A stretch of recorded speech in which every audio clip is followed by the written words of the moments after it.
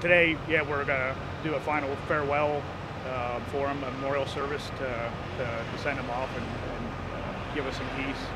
He uh, served the community, did a lot of stuff for the community. He was a, a bomb dog, and uh, we did a lot of protection of uh, not just the War College and VIPs, but uh, we served uh, the community as well. We were part of the South Central Task Force, and so we assisted with bomb threats and, and VIPs off the installation as well. And so he did a lot, and uh, our biggest thing that we did was the uh, Pope Francis visit uh, in Philadelphia in 2015. Him and I got to be part of that.